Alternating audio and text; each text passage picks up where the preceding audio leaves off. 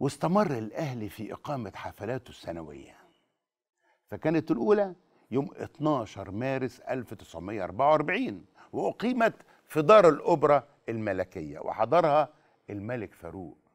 وأحيت الحفل فرقة نجيب الريحاني المسرحية. اللي قدمت مسرحية الدنيا ماشية كده. أما الحفلة التانية اللي اتعملت في ليلة عيد الفطر وتحديدا يوم 17 سبتمبر 1944 فحكايتها حكاية.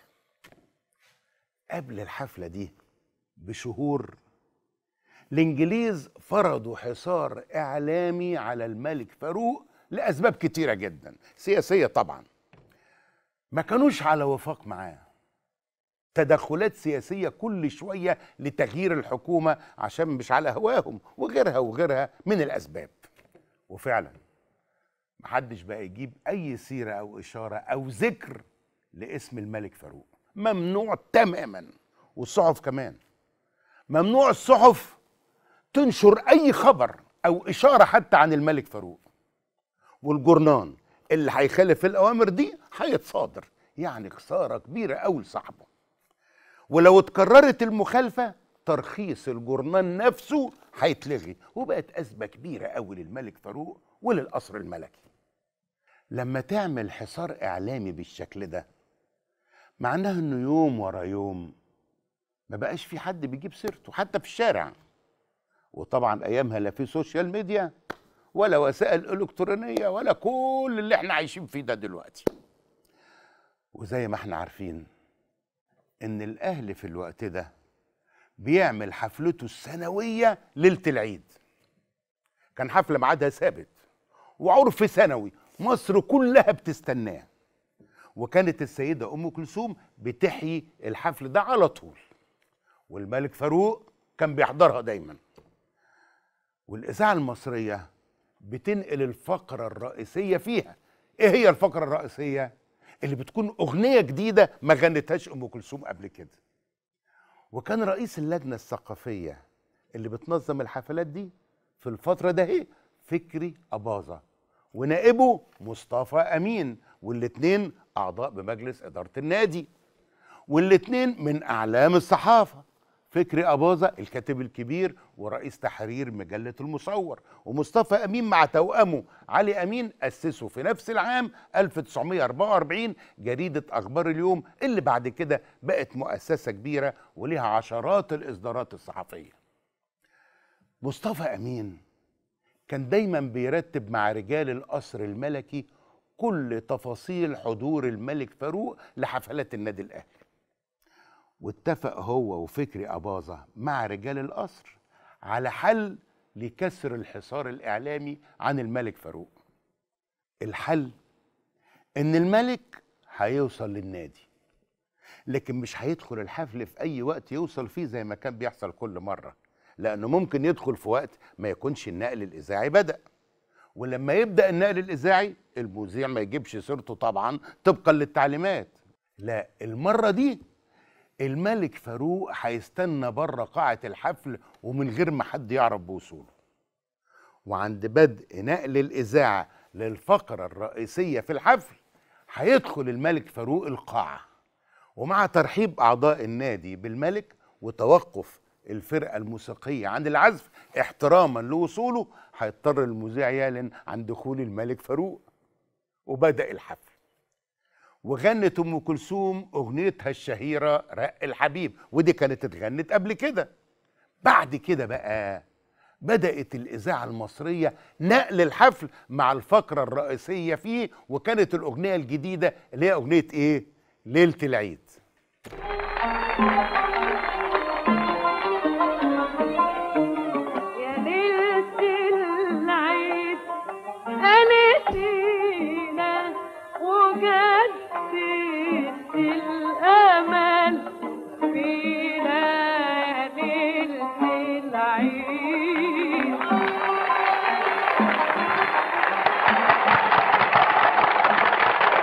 شرف حضرة صاحب الجلالة. سيداتي وسادتي هذه الهتافات التي سمعتموها وهذا التصفيق وهذا التهليل وهذا الاستقبال الرائع كان لحضرة صاحب الجلالة مولانا الملك المعظم. العيد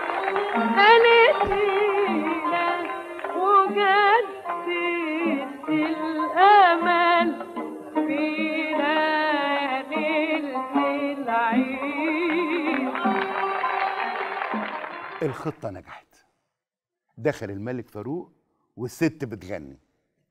وأعضاء الأهلي استقبلوه بحفاوة والفرقة الموسيقية توقفت عن العزف. والمذيع طبعا اضطر يعلن عن دخول الملك فاروق. الملك فاروق قعد على نفس الترابيزة اللي قاعد عليها أحمد حسنين باشا رئيس النادي الأهلي وكبار الأهلي.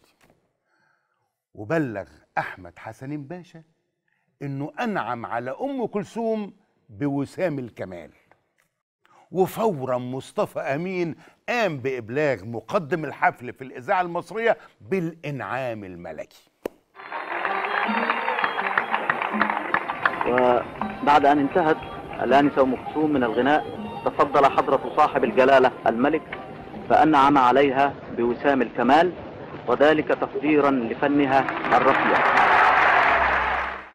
وعشان نعرف قيمة وسام الكمال. فالوسام ده كان الوسام الوحيد المخصص للسيدات. وما كانش بياخده إلا سيدات الأسرة العلوية والطبقة الحاكمة. يعني حصل عليه مثلا من سيدات الطبقة الحاكمة صفية هانم زغلول وكلنا طبعا عارفينها زوجة الزعيم سعد زغلول. وكان ليها لقب تاني اشتهرت بيه في الوقت ده هي أم المصريين. وحصل على وسام الكمال هدى هانم شعراوي والسيدة حرام مصطفى النحاس باشا والسيدة حرام إسماعيل صدقي باشا. وكانت أم كلثوم أول سيدة من عامة الشعب تحصل على وسام الكمال. المهم بالشكل ده انكسر الحصار الإعلامي عن الملك فاروق والصحف نشرت تفاصيل الحفل ما هو ما ينفعش الإنجليز يملوا إرادتهم على الشعب المصري ابدا ولا يتدخلوا في علاقته بحكامه ولا يفرضوا سياستهم عليه. الأهلي ما تسماش نادي الوطنية من فراغ. دي مواقف تاريخية.